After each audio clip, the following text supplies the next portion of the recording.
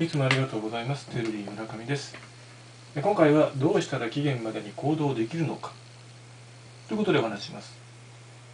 期限までに行動できるのかっていうのは何かをしようとしてるってことなので、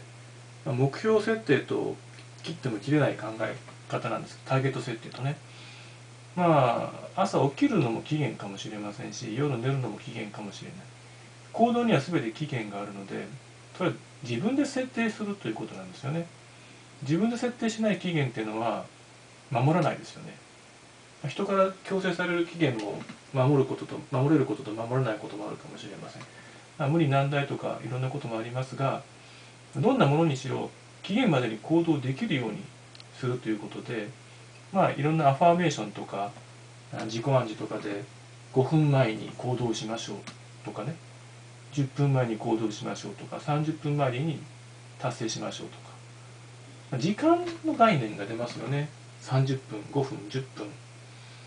まあそういった期限まあ自分でその1分間どれぐらいっていう感覚とかいろんなことがありますけども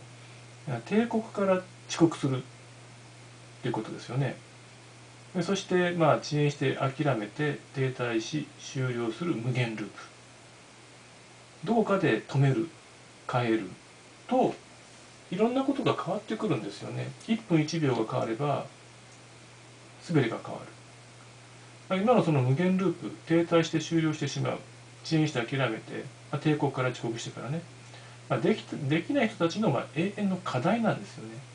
できないというか自分で勝手にできないで決めてる人かもしれませんができないわけではないんでやれるんですよね。まあいろんな人がいてあなたはま思考人間なのかそれとも感覚人間。そして感情人間。やっぱり直感人間かもしれませんけども思考型とかね感覚型感情型直感型ってまあ心理機能ですね。それぞれま考え方の癖があってメインとサブがあるということですよね。それを自分でどんな思考パターンなのかっていうのを利用してえー、るとねゲームで行動できると思いますよ。まあそのあなたの心理機能が全てを支配してますのでまあいろんな考え方ありますね。割り切って間引くのか足してで倍にするのか、まあ、加減乗除の、まあ、四則演算では予想もつかない成果とか結果につながる経験をしたことは皆さんあると思います。まあそういったことなありますよね。うまくいくとかうまくいかないとか、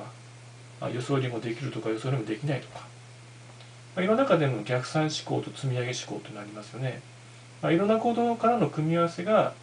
最適なもの最適な考えが作り出せるのかもしれません。まあいろんなね髪型をねコレクションするのもいいかもしれませんね。え